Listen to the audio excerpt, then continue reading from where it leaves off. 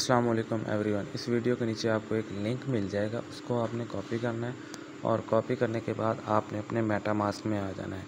Meta mask में आने के बाद आपने ब्राउज़र के ऑप्शन पे आना है। ब्राउज़र के ऑप्शन पे आने के बाद आपने सर्च बार को ओपन करना है। और जो आपने लिंक कॉपी किया है, वो यहाँ पर लगा देना है और सर्च करना है। और फिर वेबसाइट को लोड होने देना है।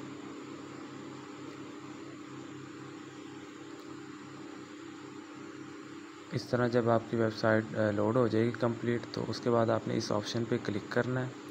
क्लिक करने के बाद सेटिंग पे क्लिक करना है। सेटिंग के बाद ये नंबर वन पे क्लिक करना है और दोबारा से यहाँ पर क्लिक करना है और इसके बाद इसको अप्रूव होने देना है।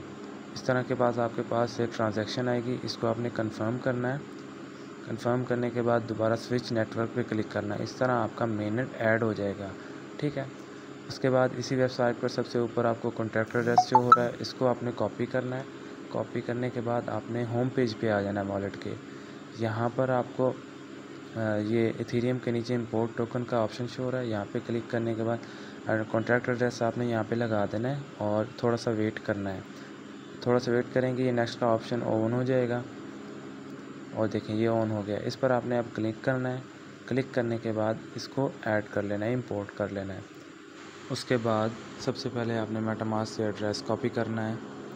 उसके बाद अपनी एथीन एप्लीकेशन ओपन करनी है। ओपन करने के बाद वॉलेट के सेक्शन पर आप आ जाएँगे। आने के बाद विड्रॉ पे क्लिक करेंगे।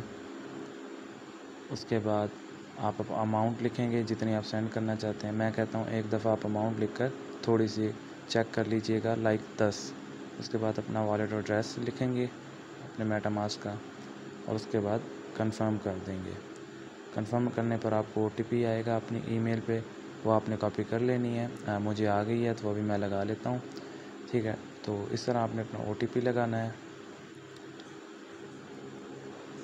ओटीपी लगाने के बाद आपने कंफर्म कर देना है। कंफर्म के बाद ये कह रहे हैं कि सिस्टम ने आपके जो विड्रा है वो ले लिया है। आपका विड्रा आपको मिल जाएगा। अगर कोई एरर हुआ तो आपके अथीन आपको वापस मिल जाएँगे।